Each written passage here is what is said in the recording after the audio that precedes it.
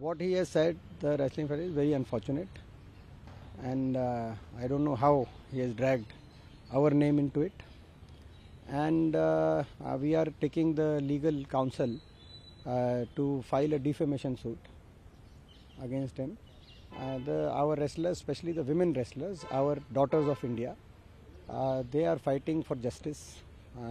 Their fight is they have raised their own voice, and entire nation is supporting them, and we also support them, and they should get justice. And independent inquiry is must uh, to bring out that justice.